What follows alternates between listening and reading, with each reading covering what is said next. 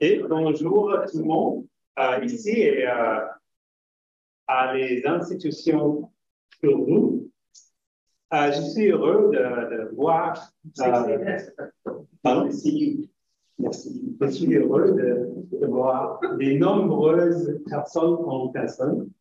Um, and I will switch to English. So I'm very, very happy to uh, have the honor to introduce Ludwig Martineau, uh, a person I do not need to introduce in this circle, but uh, I will do so. He's professor in uh, our own engineering and physics department, uh, chairholder of the multi-sectoral industrial research chair in coatings and surface engineering. He is the co-director of the GCM Group Equipment, uh, well known to the RQMP, and uh, member of the RQMP Executive Committee, and co-leader of the Axis 4 uh, Materials uh, for New Technologies. He was the head of the Department of uh, and is the former president of the Society of Vacuum Coaters. As you will see, his research interests are, uh, his main interests are in surface engineering, thin films and coatings and uh, plasma processing of materials. Um, his activities resulted in an impressive number of more than 420 publications in referee books, uh, journals, book chapters, conference proceedings, and 18 patents. And he's uh, the recipient of numerous awards, among them awards from the, uh, the Society of Vacuum Coaters, the American Vacuum Society, and the NSERC Synergy Award, uh, together with Jolanta Sapieha. And this year he won the uh, Polytechnics Award for Excellence in Research and Innovation. And with this, I want to hand over to Ludvik and thank you for presenting the work here.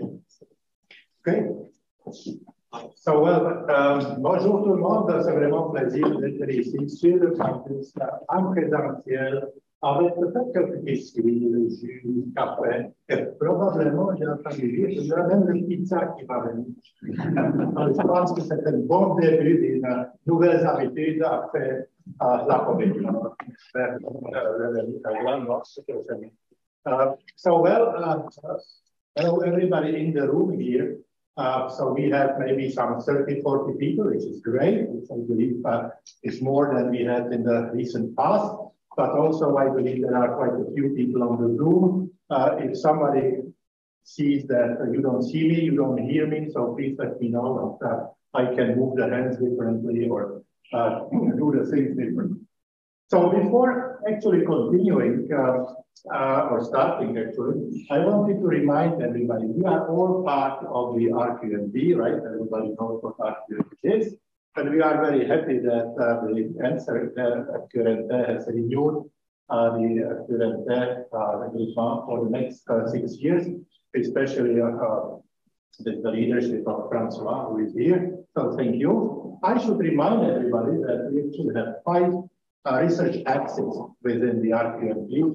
And it would be really very nice if we can think about that uh, the different axes are represented relatively uniformly by different presentations from all the areas which we represent here at Polytechnic there or McGill or, uh, or in, uh, in Sherbrooke.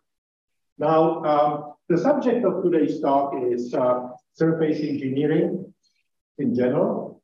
And I would start always, like always, with uh, this interesting collection of pictures which shows uh, applications ranging from uh, uh from building, industrial architectural glass, um, uh, equipment with uh, electronics, flexible electronics or cameras or cell phones, which by themselves include hundreds of symptoms which are related to surface engineering we are interested in. And if we look even farther, we are looking at uh, different types of applications, automobile industry, aerospace, uh, uh, domestic products, biomedical applications. So surface engineering is really the keyword and very important aspect of it because that's the way how they assure the performances of materials, how they behave in all those different uh, applications.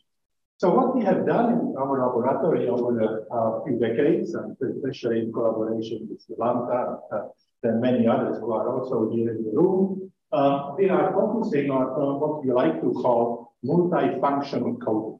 So what is multifunctional coating? So if you look at uh, a substrate, a material which we would like to uh, modify in a way that it uh, reacts or behaves appropriately for different applications, we add different layers. We can have optical, electrical, mechanical, electrochemical, different other functions. But either those functions are combined in one layer, or each layer has a different function, and then we go to the design table and start thinking about how to make a layer structure which would be durable, which would be manufacturable, in which case these uh, structures would be compatible with substrates, with the environment of use, and of course, when we work with industry, what would be the cost of it. So this is the first thing. The second thing is, what is quite important is that we see the application surface engineering solutions in different sectors. And as a matter of fact, I'd like to say that probably about 80% of all the methodology which is developed, the processes, materials, and different other concepts, are transferable from uh, one sector to the other, which is a great message because if you develop uh, certain approach, approaches, certain solutions, you can then more easily switch and find solutions in other areas.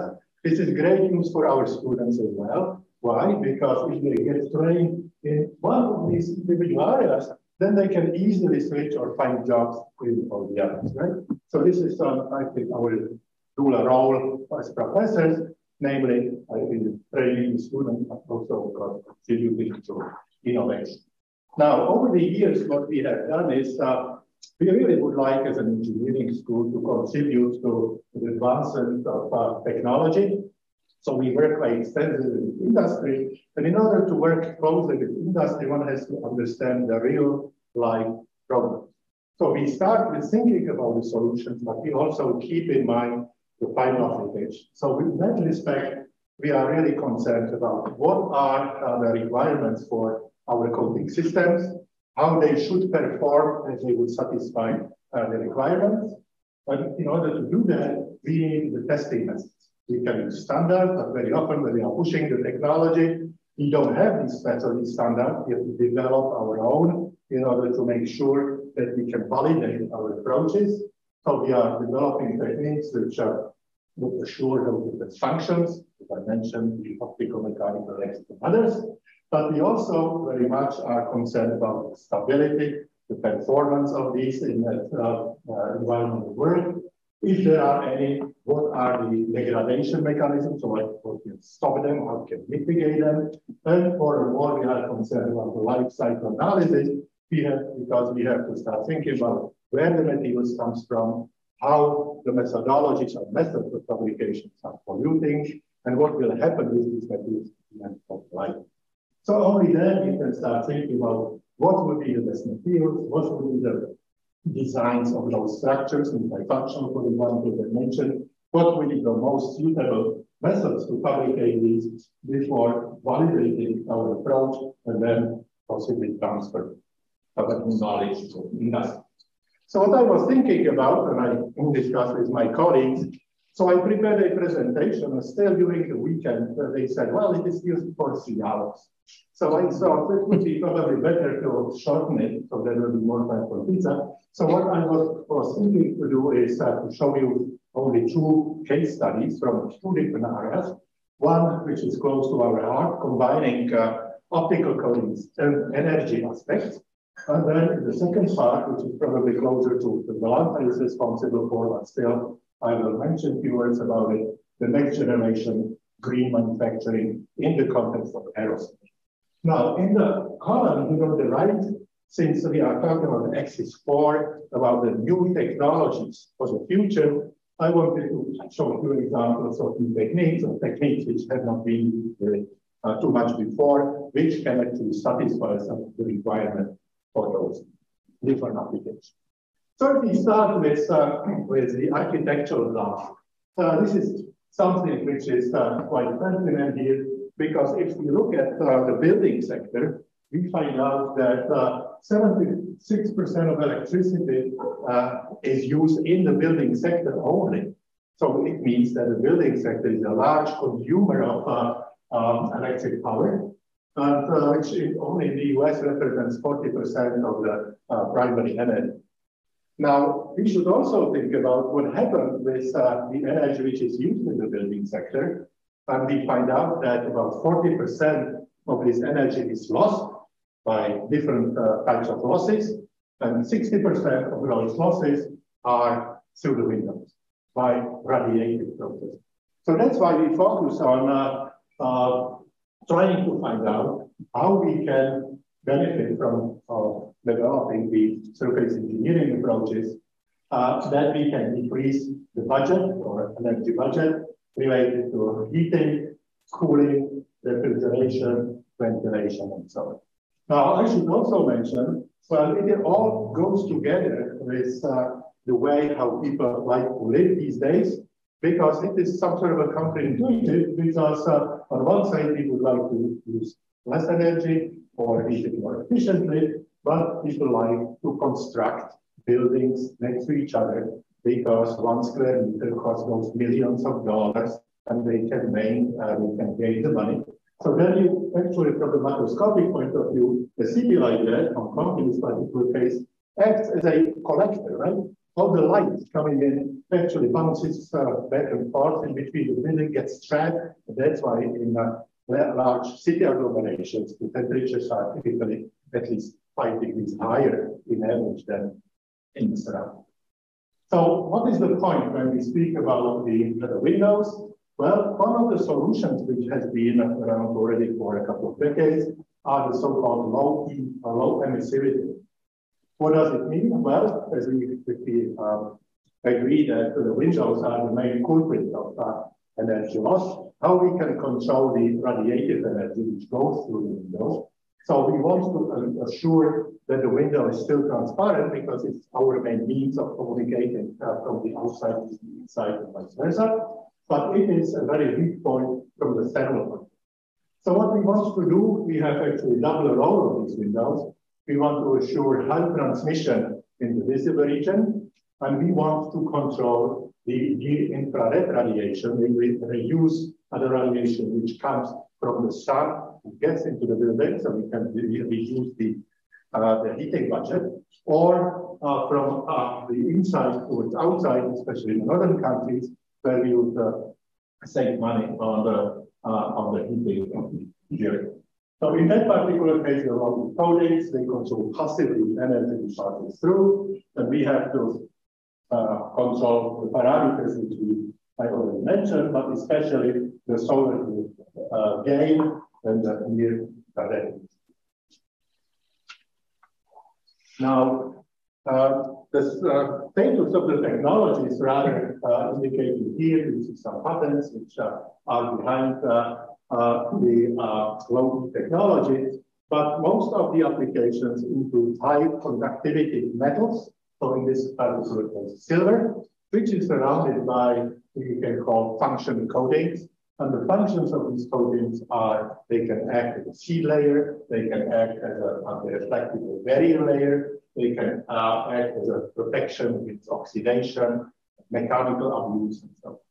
So this is what uh, is the first. The second step is, well, we would like to have structures which uh, would contain not maybe only one single silver layer, but maybe several silver layers, because there we can reduce uh, the uh, transmission in the near infrared without really affecting too much uh, the transmission in the visible.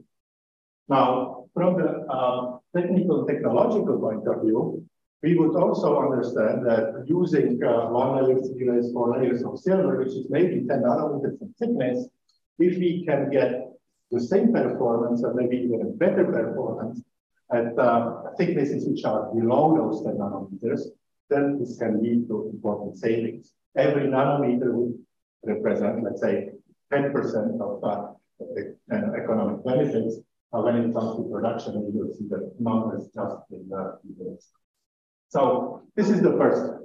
Now, the second step is, well, this is very nice. So we have those passive low heat windows, but can we do somehow better? Can we, for example, think about uh, active coatings or dynamic coating, which would, uh, where we can adjust the transmission in the infrared depending on if the wall is facing south, west, east, and so on, if you are in the northern hemisphere or more equatorial and so on. So what I will do now is I will say a few words about uh, developing the coating systems and processes uh, for thermochromic because it uh, creates a nice story. But we have also worked uh, on the electrochromic. That can be another one hour of presentation and so on, which I will not do. Yeah.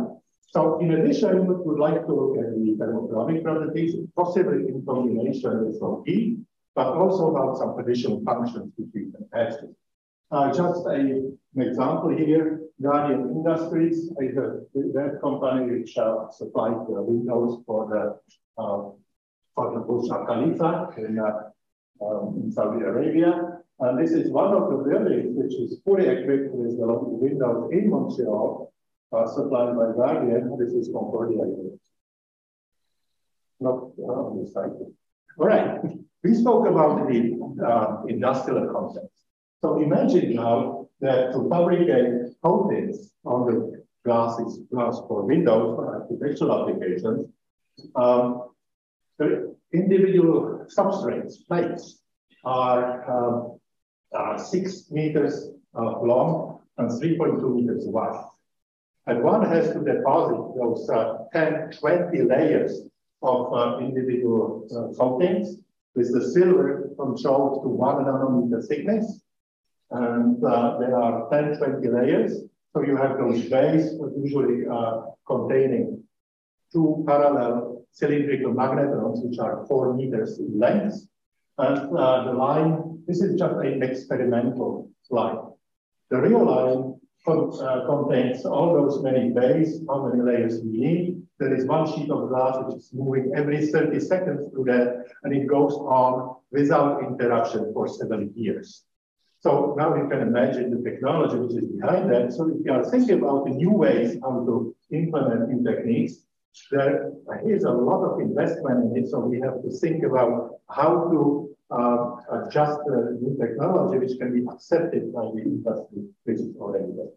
Uh, Guardian Industries, uh, the production is typically 75 million square meters per year, which is a, uh, a non-negligible fraction of what is the um, world annual production, which is 500 uh, million square meters of coated glass constructions and everywhere in. So if we think, think about thermochromic uh, smart windows, so what we actually would like to accomplish, we would like to find a situation that we have our window, and we would have uh, a switch from the cold state to the warm state. So at the uh, cold state, we would have uh, radiation coming in in the visible region, in the near infrared region, and when we switch above the critical temperature, then the infrared radiation will be reflected and the visible will be transmitted. So the window will still completely functioning as a window communication. So in that case, the notoriously uh, known material, which is the most performing material, is VO2. The advantage of the VO2 is, uh, well, it works uh, very well. You will see uh, the, benefits of, of that. Uh, it has the transition temperature around 68 degrees C, changing from the semiconductor monoclinic structure to the tetragonal metallic structure. So this was want to do. And uh, if you uh, fabricate such a coating, what we see, we, we want to assure the switching, but not at 68 degrees. Uh, it will come when uh, the climate change will continue for, for a while, right? So we would like to bring this temperature a little bit lower. We can do it. We can bring it down to room temperature by doping 2% of tungsten or molybdenum or other. Uh, well, some people would say, but it's quite an ugly color, right? We would not like to have our uh, buildings and even domestic uh, windows of this color. So we can benefit from optical filters, from plasmonic particles embedded in such structures to give uh, nice new uh, interesting uh, colors. So we would like to also increase the visibility in the uh, visible region. So you see here, uh, this is the photopic uh, uh, region of the human eyes, where we have the most uh, sensitivity of the eyes. So we would like to increase the transmission in that area. So this is also possible by applying the reflective coatings, applying uh, nanoparticles in the structure. So this all in literature. But still a few years ago, uh, we were all limited by the high temperature which we needed to fabricate this VO2 thermochromic material. uh, to get the micro nanoscale. Which brings me to a point which I would like to underline here. Can we find a technique or technology which would allow us to fabricate stable VO2 films which uh, can be fabricated at lower temperature and have even a better performance than what has been applied before. So this is the first new technique which I wanted to describe here, namely HiPIMS, high power impulse sputtering. So this is a technique that instead of using uh, continuous uh, uh, signal applied to the target where we accelerate the ions, which would uh, sputter the material by, uh, by momentum transfer, we actually divide the power in very short pulses, where the individual pulses, instead of uh, containing the 100 watt, let's say, of average uh, average power, if we compact that in uh, duration of pulses of uh, some tens or hundreds of microseconds, these can be megawatt in individual pulses. What does it mean? Like if you look here, uh, if you look at uh, decreasing the cycle, this is what we scale, we can look at the peak power density, which is kilowatt per square centimeter. So if we are somewhere around one uh, kilowatt per square centimeter, which is very difficult to cool such a target that we want to operate it uh, at a lower duration of the pulses. So we, if we pulse it, we still have the uh, cooling power of the magnetrons. But what happens here, the power density is so high that we can actually uh, ionize most of the gas which is in front of our target. So if we ionize it, we have two possibilities. Uh, more, more ions which are available for sputtering. And at the same time, we can fabricate our coatings on the other side from ionized metal. What does it mean that we can do it? It means that we can use uh, a higher density plasma, which uh, leads to higher fluxes towards the substrate. If we can increase the fluxes of energetic ions towards the surface, we can densify the materials, we can control the uh, grain size, density of the material, and so on. The stress, for example. So this is what is open here by using uh, the hybrids. Now, if you look at uh, the different ways how we apply the hybrid, we find out that the window parameters which uh, allow us to control uh, the process characteristic is a little bit narrower than the standard sputtering process. So we have also to develop the diagnostic tools which allow us to do that properly. And as a matter of fact, this is an example of uh, uh, the uh, development of the space and time result of differential spectroscopy, where we would have a target on the left side, where we generate the plasma in the vicinity, we would rely on the uh, secondary electron generation, which would uh, that enter the plasma zone. The electrons then the dissociated, ionize uh, the surrounding gas, uh, the background gas plus the sputtered material. And then, of course, the material from the target would move to the substrate on the. So we would have, for example, a optical emission spectrometer, which would be uh, connected to uh, an optical fiber. So we can then move back and forth and uh, assure spatial distribution of uh, the plasma characteristics. And if we combine that with uh, a high-speed camera, we can actually look at the, uh, uh, at the transient effects uh, when it is fast enough. So for example, we have found that the ions, depending on the type of the ion and the size, they move at speeds which are commensurable with cosmic speeds uh, several kilometers per second, up to 10, 12 kilometers per second for the Now, uh, well, I think everybody knows that we also work in the field of optical coatings. So we like to fabricate optical filters, and there is only one more step to put in front of our camera and in front of our optical fiber an optical filter, uh, which would select the specific part of the spectrum where we can focus on the individual uh, species which are in the dust. So in that case, we, we can add also the uh, species resolution to our definition spectroscopy, and then we can look at the movement of different species from the target towards the substrate and understand better how uh, the things are growing and how we can control the process. So this is probably a key uh, picture which uh, uh, underlines the importance of the diagnostic approaches. Uh, for example, here, this is a waveform where we have a current Uh, we have the voltage applied to the target. And this is what happens with the voltage and the, with the voltage on the current during one individual pulse, which is typically in this particular case 200 microseconds. So if you look at, uh, for example, what is the uh, structure of the plasma or the properties of the plasma during the individual periods during the pulse, we see examples of what happens after 3 microseconds, 33, 53, 73. So we see here if there is no filter, we just see the light coming out. So we have an averaging effect. So we see here that there's a combination of all the emission lines from the plasma. But if we put a filter looking at argon, for example, the argon lines, we see that uh, at the very beginning, uh, the argon line is very high. So we have more arc excited argon in front of the target, and then we start generating, generating more metal, which is stuck to the surface, which also gets uh, ionized into the substrate. And if we look at the, at the metal here, this is the phase. So then uh, in the subsequent part of the pulse, from the here, uh, the emission from the metal is increased, but is decreased. So there are several conclusions from that, which are quite important.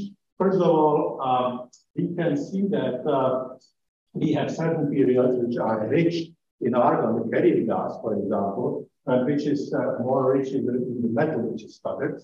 So we can now start thinking about our, our substrate level, we can apply different voltages which would uh, preferentially attract some of these ions, accelerate them, and contribute to the full growth. And if we synchronize these voltages, we can assure periods where we would have uh, uh, less argon. So for example, we would have five microseconds, a microseconds delay before, before uh, from the beginning of the individual pulse, when the metal ions would arrive to the surface, we would uh, omit the argon, for example, which can lead to substantial decrease of, uh, of mechanical stress, for example, in the code. We can also uh, apply different biases, different uh, synchronization strategies which can also favor the growth of different uh, crystalline structures in, in, the material, depending on what we uh, really would like, uh, like to do.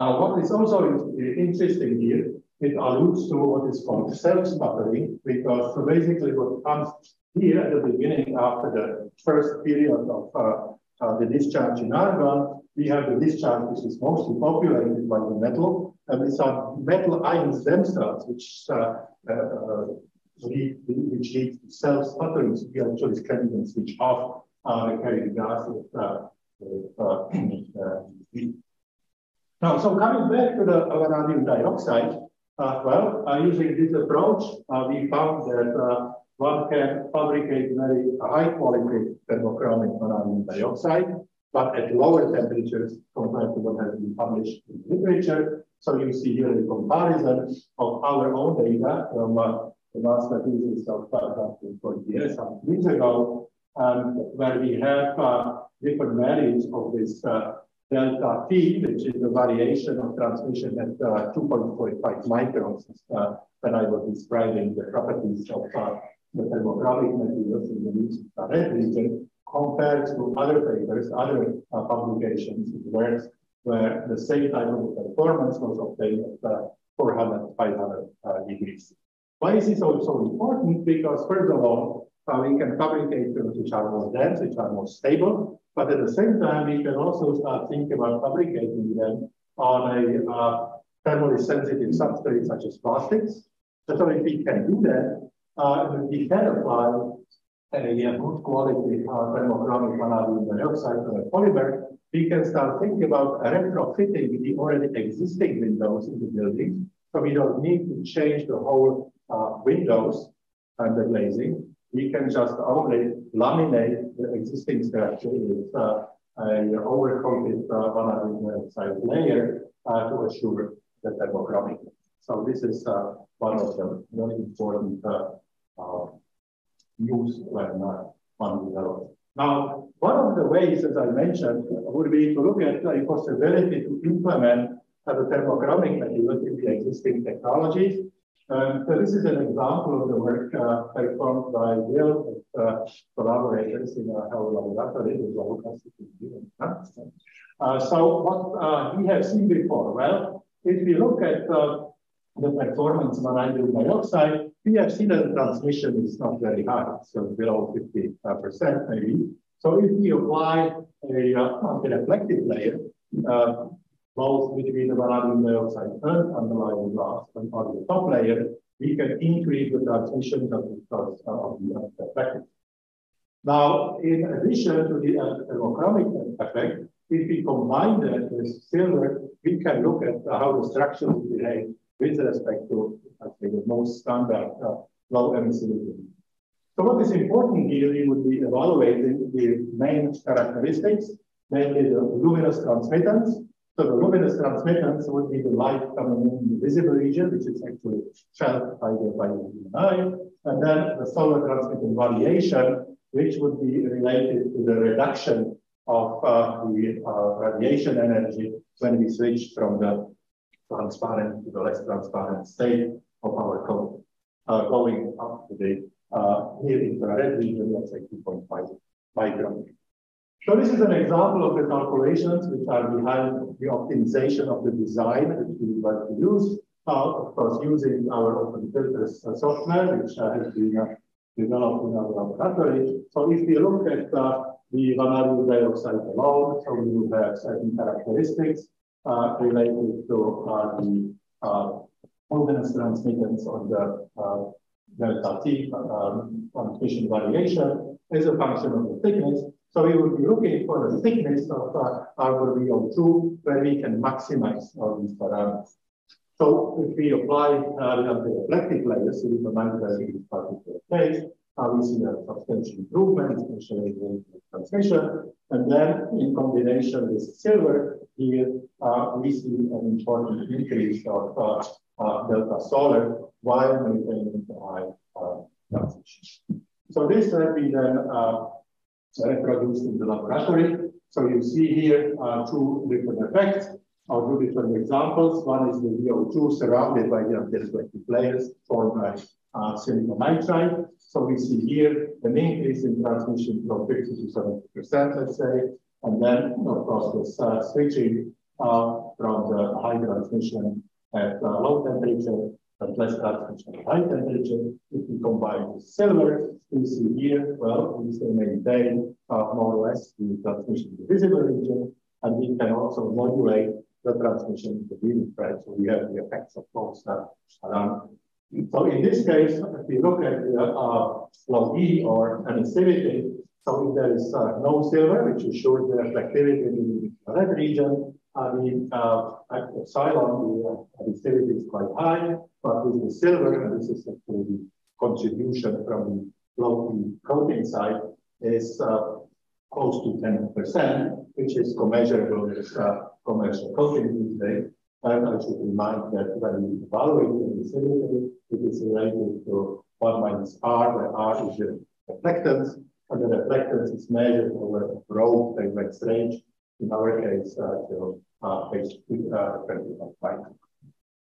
Now, as I mentioned before, when developing the technology, we can also look at other functions and maybe also other applications which are suitable. And uh, so we can benefit even in other fields. This is where the multi-sectorial aspects comes in. And one of them is uh, the exploration of space. So if we look at uh, a satellite, for example, as you see here, of course, the satellites uh, move on the orbit and they are exposed to the radiation from the sun. So if they are exposed to the radiation, their temperature can increase quite substantially because of the, of the heat load or the flux, 1,300 watt per square meter. And in shadow, uh, the value is much, much lower. So the satellite itself is very much heated on the sun side and very much cool on the other side. Now, what is very important, there is only a certain range of uh, temperature what the payload on the satellite can, uh, can support. So we have to find ways that for the electronic components, for example, uh, the temperatures would be somewhere between, let's say, 0 to 20, 30, 40 degrees C, much far from uh, the limiting temperatures which will be given by the open space. So one, on one side, we have to protect against the low temperatures. On the other side, we want also to dispose of of the excess energy when it is accumulated uh, by the radiation. Now, it becomes even more important when we start talking about micro nanosatellites, because the large satellites, which may weigh a ton or so, doesn't matter if they use some other uh, thermocontrol systems, either uh, thermostatic resistant electric heaters or louvers, which are mechanic and so on. So we would like to uh, decrease the uh, mass also of the satellite when we speak about the picosatellite, as shown here, or nanosatellite, which may be several tens of centimeters in size.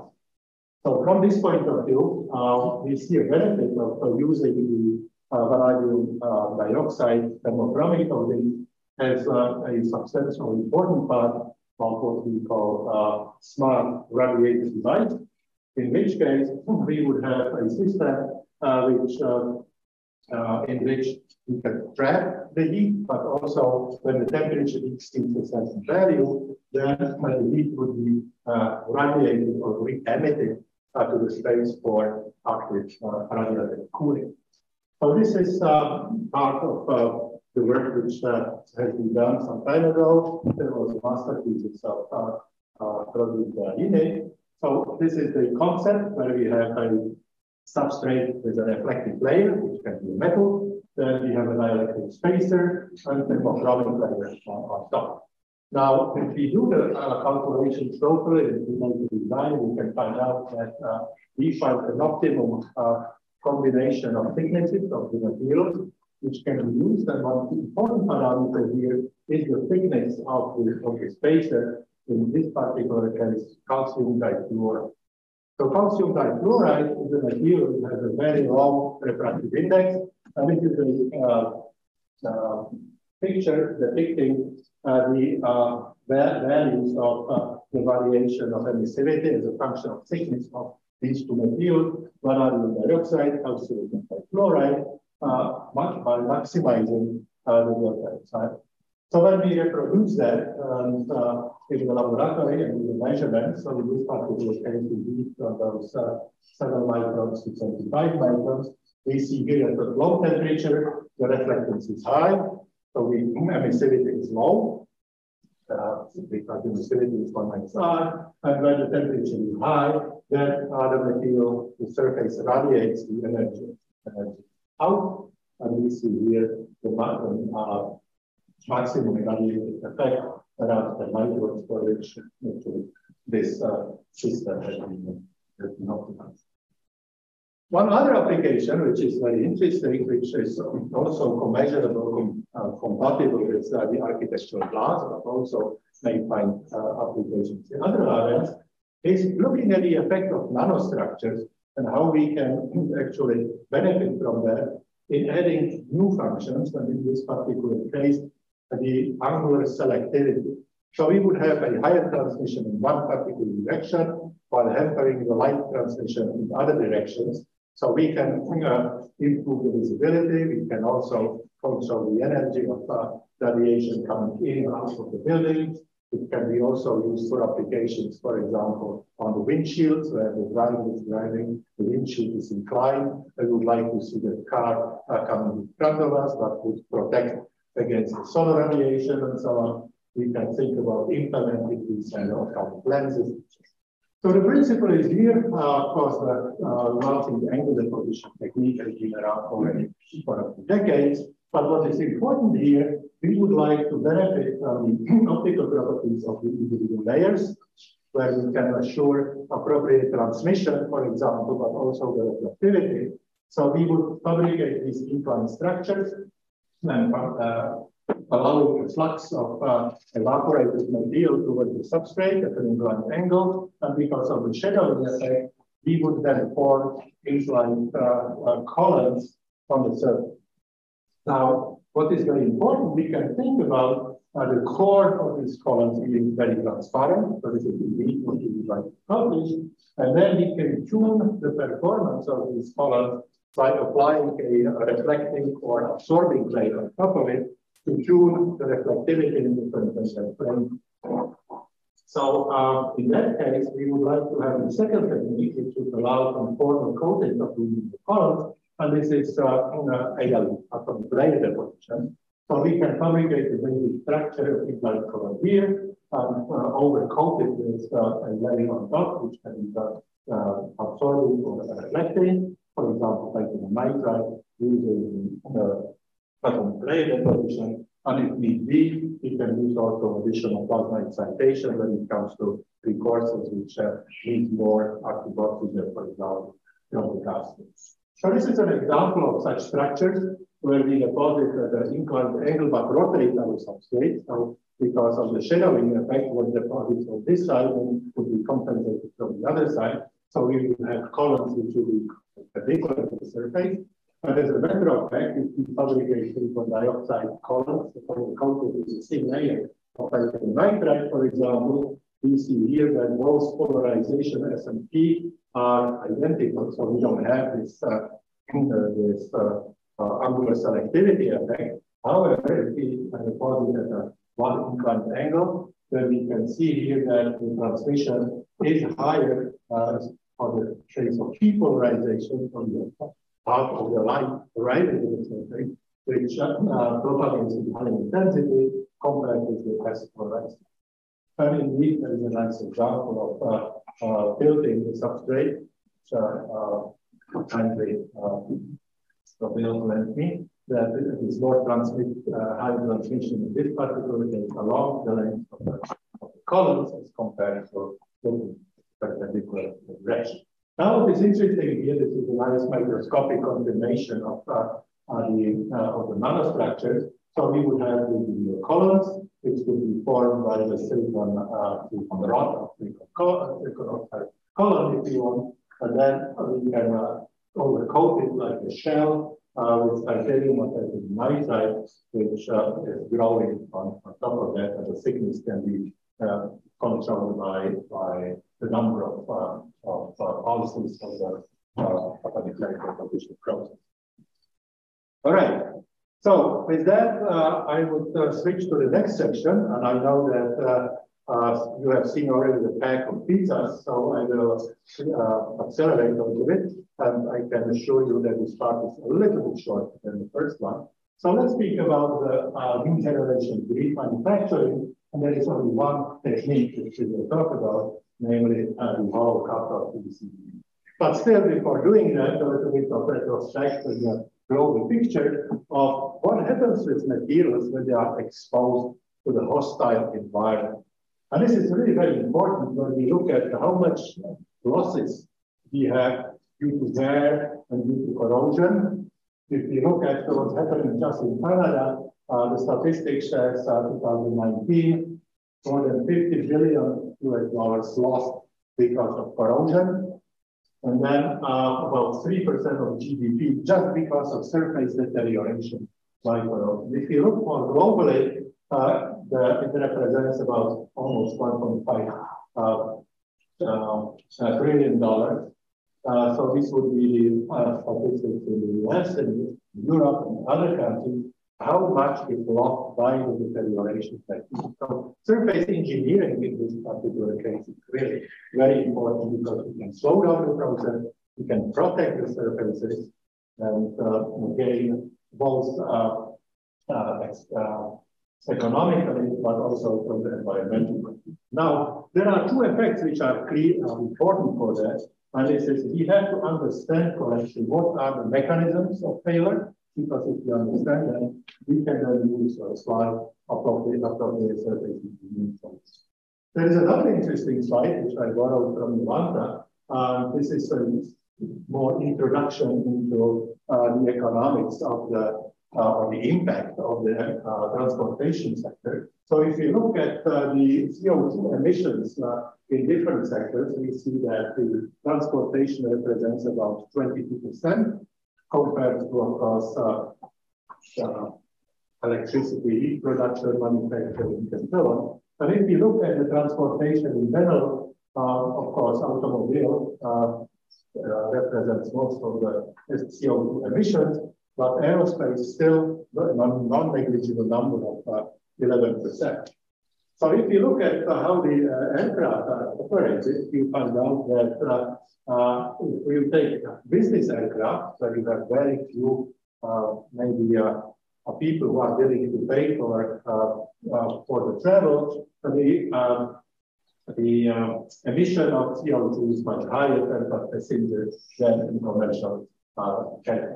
What is really important here is that if nothing is done, we could take the numbers that we are now uh, in uh, 2019. So in uh, 2050, uh, the emission would be generated by the aerospace industry, usually by a factor of 2.6, which is very important. All right. So Still, as a part of introduction of this section, if you look at an aircraft, which uh, this is a, the new model of computing by the aircraft, uh, there can be surface engineering solution and coatings in all those different areas. And I would say, you want to confirm that, that we have worked on uh, many of uh, all of them, which is very important, including in, in direct uh, benefits like uh, coating for cutting tools or water erosion of different components. So, so what I would do now is just to say a few examples about erosion resistant coatings for the engine and uh, uh, illustrate that by the surface engineering approach.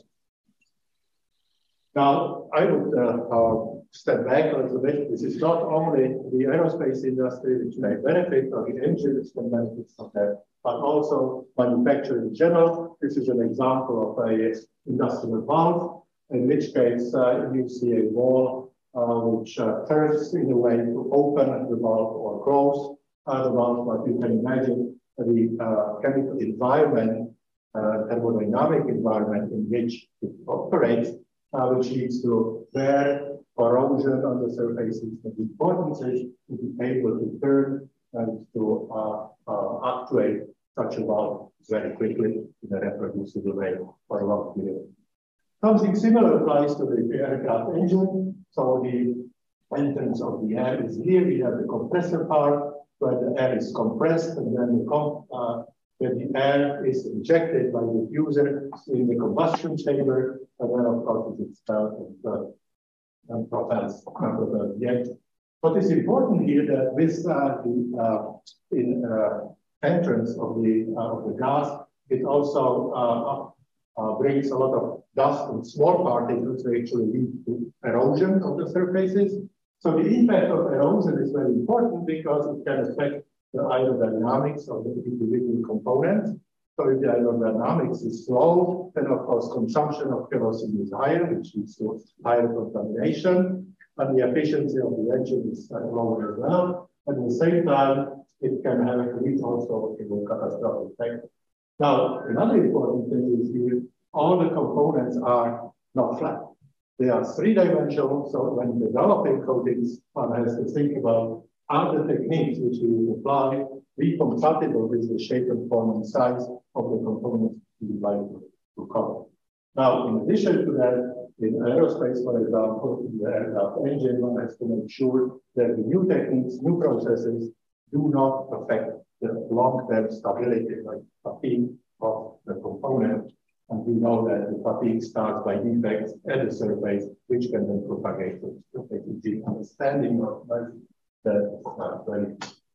So if you look at that, we have the engine and uh, the components, which are uh, three-dimensional. They are very, very costly. So such individual pieces uh, can cost uh, tens or hundreds of thousands of dollars, just individuals. Just changing it. is costly. The material fabrication is costly. So if you can protect them, you have to think about what would be uh, the type of design on the micro scale. So what would be uh, the sequence of layers, which would be typically 5 millimeters thick. And for the individual layers, how we can assure the appropriate mechanical properties of the individual layers uh, to provide appropriate uh, mechanical durability.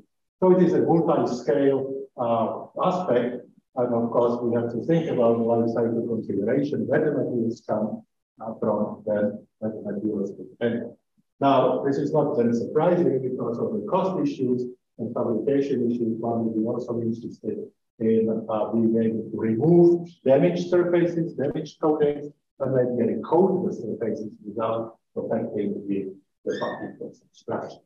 So here's an example of what uh, has been done in our laboratory some years ago, which is the highest reported uh, erosion resistance uh, to solid particles, for example, alumina, uh, 50 micron in size, uh, uh, at a speed of 90 meters per second. So you see here a design which is based on titanium alloy, which by itself has a hardness of some 8 uh, gigapascal. And then you 3D interface, apply a matching layer, and then slowly apply other layers with uh, continuously increased hardness, maybe up to some 50 gigapascal for the titanium silicon carbon nitride, which at the same time is also elastic we can reduce uh, the erosion rate quite substantially. This uh, goes in hand in hand, it has been confirmed by uh, finite element modeling, where, for example, we see mass loss, which can be substantially decreased for specific values of uh, hardness and gas modulus. So we see here that in principle, we do not necessarily need the hardest material. We need a material which has a good balance between the hardness and uh, elastic modulus, which is related to the way how the mechanical energy is dissipated in the structure upon an impact of the individual particles or any other type of mechanical load. So now, uh, for those who are interested in plasma, uh, and just another technique. So that other technique is uh suitable for fabricating uh, complex components, such as diffuser. So this is a diffuser where the air, which is compressed in the compressor, is then ejected in the, in the combustion chamber. But the problem is, once again, as I mentioned, uh, in the diffuser, we have the individual channels, which also can be eroded by metal by uh, uh, uh solid particles inside during the passage of the air. So, so those channels are typically several millimeters in diameter. And then, of course, uh, we have to think about what would be the uh, length uh, to the diameter ratio. So one has to uh, devise a process which would allow to fabricate uniform hard protective coatings on the surface, like in a, in a shown. So this is the principle of that technique uh, based on the what we call immersion hollow cathode uh, PCB process.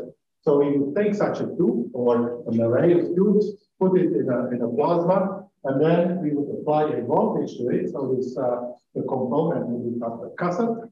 We would create a plasma inside. So for the diagnostic purposes, into the tube, we make a slit, so we can do uh, spectroscopy analysis of what we have in the tube. And we are looking at uh, under what conditions we can fabricate uh, durable coatings uniformly in, in uh, such tubes. Now, the process is based on uh, what is shown here as a pendulum effect, where if this is a cathode, then uh, the walls are the same potential, so then if it is a cathode, of course, the plasma would be looking for the anode, which is outside. So we would have a very dense plasma inside, the electrons would connect to the cathode, to the anode outside. But if we uh, put an appropriate power, we include uh, an appropriate precursor, which can then be dissociated inside such a hollow cathode, we can dissociate it with uh, a high uh, efficiency, and then we can initiate the reactions at a high rate inside such a hollow cathode. Now, if we do that, uh, we realize that we benefit from much higher density of the plasma, which can be several orders of magnitude higher than in the standard DC or pulse sputtering system system. So this is uh, very beneficial. So we can use very high fluxes towards the surface to uh, fabricate uniform coating. So this is uh, one of the key results uh, when we found that not the continuous wave radio frequency discharge provides appropriate coating because uh, this is the middle of the tube, this is the one half of the tube, so we see here uh, that uh, the thickness is not uniform. We see here that also the microstructure is quite different. So eventually the erosion rate will be different in different parts of the tube. And it takes uh, different frequencies, for example, it could allow uh, to stabilize the plasma, make it uniform in the discharge, but at the same time, to ensure also uniform consumption of the precursor entering the tube to make uh, provide uniform crossing across. And this is what happens when we tune the frequency with respect to the pressure, with respect to the dimensions of our component, in this particular case, uh, several kilometers. And you see here identical characteristics, and this edge has contact its middle, and we see also the control So one can count uh, quite complex uh, pieces with uh, uniform coating. One can increase the erosion uh, stability or resistance by the factor of 15. Uh, this is only titanium nitride. This doesn't include this multi-layer structure like I uh, mentioned before. So the final few slides, and uh, pizza is coming, it's still warm, don't worry. Uh, so uh, it's related to uh, mechanical stress. And I still wanted to review this message because I think it's quite interesting. Uh, this comes from a similar subject, namely uh, protective coatings of aircraft components where we, for example, can use titanium nitride as a monomaterial fabricated on a titanium alloy substrate. But what is important here, well, titanium nitride has been notoriously used for, of course, manufacturing, other applications. And of course, people, when you look up the literature, always report the relation between adhesion, performance, stress. But the stress is, what is usually reported, is the average stress of the code. So what we did, it was in the thesis of uh, Erika Jimenez a few years ago, uh, she looked at uh, the stress depth profile from the surface towards the interface by uh, using uh, using uh, uh, diffraction measurements at, at the grazing incident. So was able to determine what is the stress on the surface and how the stress profile then varies towards the interface, towards the substrate. Now, why it is important? Well, uh, for one reason, we don't want that the stress exceeds the stress which uh, would uh, lead to mechanical failure of the component. But we can think about that we have now those uh, particles arriving at the surface, which actually impact the surface and the impact energy is then transformed in certain distribution of the stress near the impact area so if we can build in, in our system, the stress uh, profile, if you want, in a way that the stress would uh, uh, object or uh, counteract against the impinging particles, or it can be larger objects like machining, so then we can improve the performance of our method. So this then uh, was followed by different types of tests to measure the hardness, Young's modulus, but also cycle stretch testing to determine the cohesive failure, adhesive failure, and then micro tensile testing from which we can determine uh, what is the elastic regime of the reduced performance, and then uh, what uh, after what strain it leads to uh, the failure of the automation. So this is now my uh, last transparency. When we see here uh, stress formation and uh, then during the tensile stress, tensile testing, we see the crack formation. For two situations, this is the titanium nitride on the surface, it can be nitrided, so there is a gradient of composition at the interface or unit force. And then if we only expose the surface to, for example, uh, argon bombardment, titanium implantation. If you look at the result here, this is the uh, coating residual stress. Uh, this is negative because this is stress and compression. So the lowest stress is on the right, and this is the highest stress. So we go from the right to the left. And we can look at uh, different key parameters determine the me mechanical stability of these coatings, which can be actually very interesting uh, uh data uh, to enter in, for example, finite element modeling, if you would like to understand, calculate what would be the stress distribution and how the stress distribution can uh, counteract against, for example, the impact of particles. So if you look here, we have the uh, crack onset strain. So this is what we saw on the previous slide. So we see at lower stress, the onset strain, the cost is lower, but it, increases with uh, with, the, uh, with the higher stress. So the higher stress actually keeps or acts against the tensile testing. So doesn't open up because the, under the cracks. Uh, something similar is for the interfacial sheet thread, but also uh, for the energy release ratio. How much energy is released when the crack starts to propagate in such a crack. In addition to that, it uh, also uh, coincides well with the critical loads for uh, the co uh, cohesive failure and the adhesive failure, so the higher stress when the structure is still compact increases or improves when other stress or negative stress is high. So this brings me to the conclusion, just one slide away from the pizza.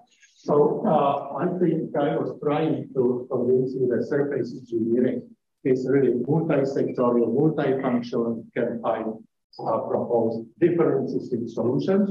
And uh, the time allows to cover only a small part of it. And, um, and the holistic approach, is uh, quite important, the overall understanding of the problems and then evaluating at what extent our solutions really meet the application requirements. Now, as part of it, I, gave examples of few techniques which I believe are quite interesting from the point of view of uh, industrial applications for uh, future uh, green technologies.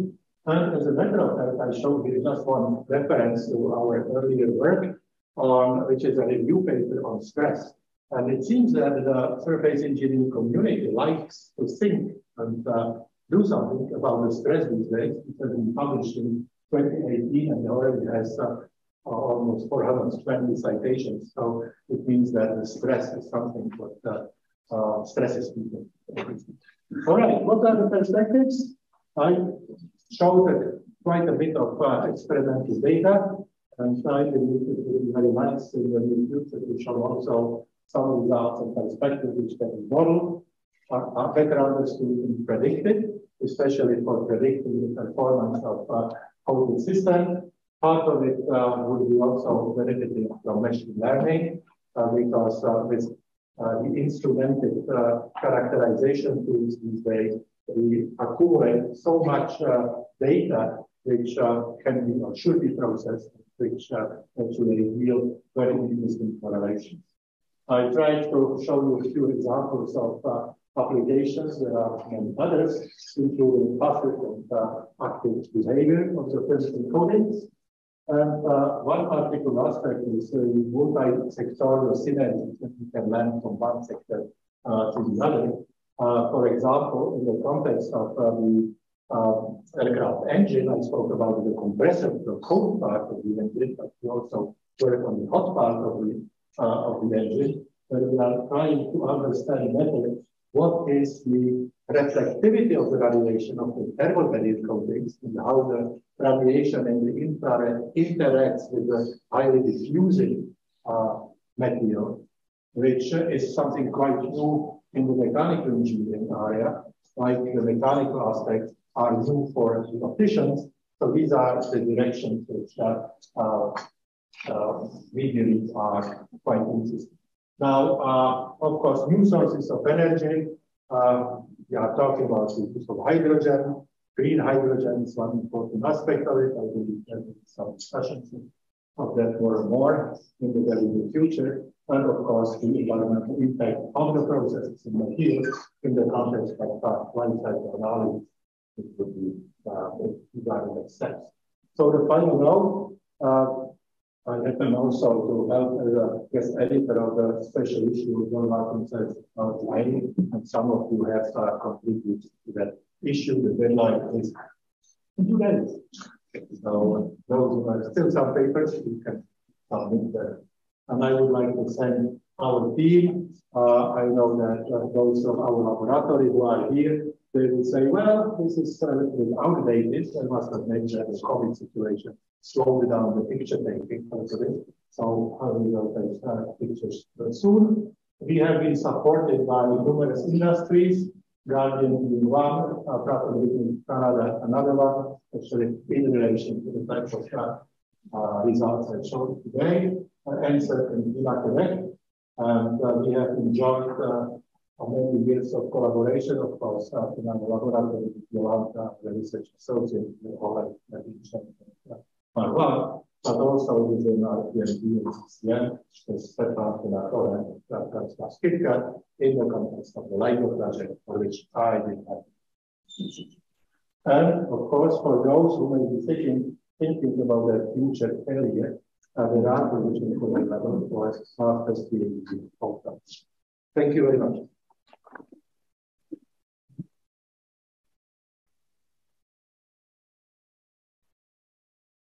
Thank you very much, Ludvik. Uh, quite an impressive overview over part of what you did. So there'll be a part two of the talk, I guess.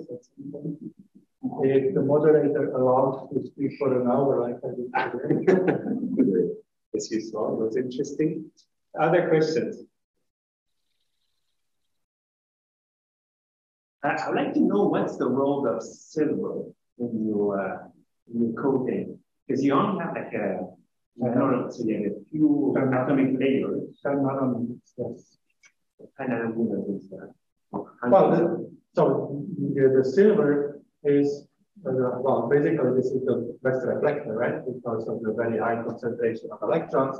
And uh, we would like to make it thin, as thin as possible to assure a high transmission.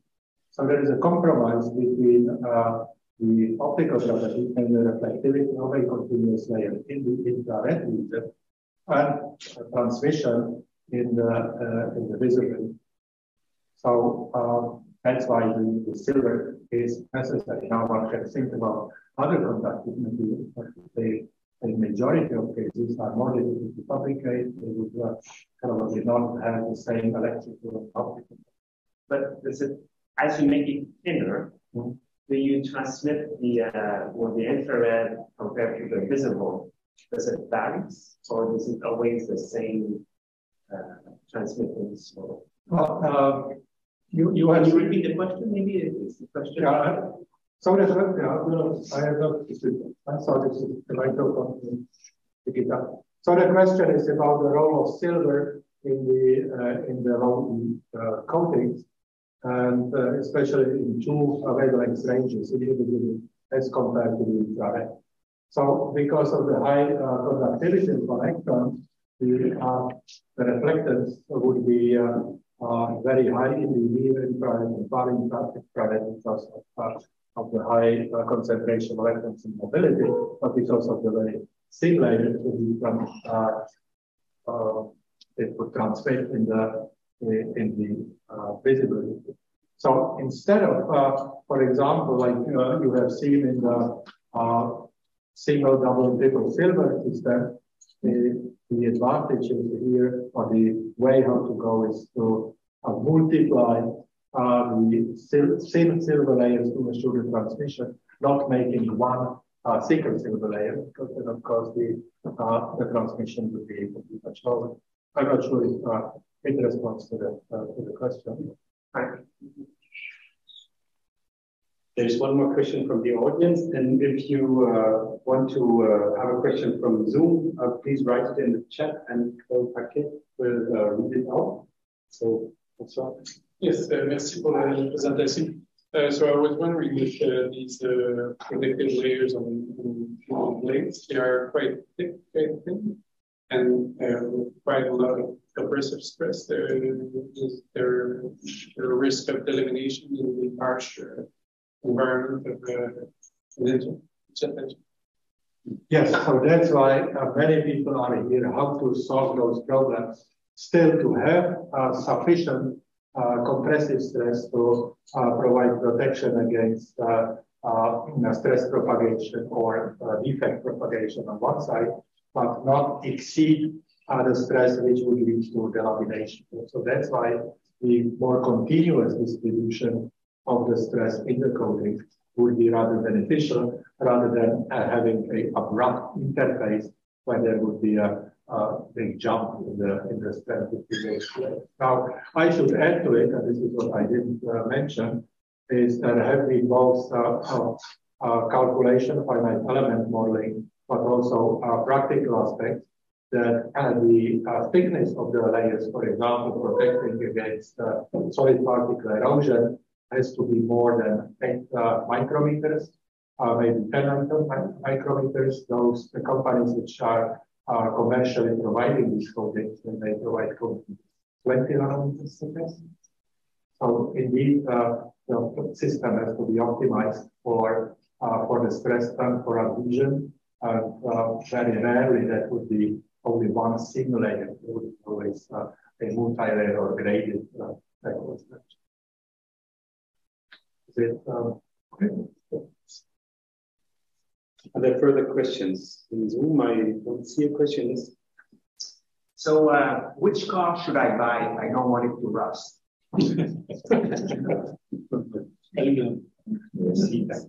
well, um, you have a better brand than this. Well, as you, as, as you know, um, some time ago, there have been many other marks of cars in, uh, in Montreal because of the increasing amount of salt. So mostly many of the European cars didn't survive. And uh, one of the ways uh, to make the car survive was to uh, build cars with uh, much thicker metal on the on the body, and of course thicker metal, and then of course provide the surface with uh, a corrosion resistant uh, coatings. Now, when it comes to uh, the present cars, uh, I will correspond with a type of a joke. Um, we were told when some years ago, we were buying always used cars. People said, buy a car for the taxi drivers. So at that time, it's like GM, these days uh, are more Toyota. Thank you. Okay. If there are no further questions, uh, Ludvik has made a strong case for in-person uh, attendances. There is pizza, so um, thank you very much for being here, and thank you, Ludvik, for giving us.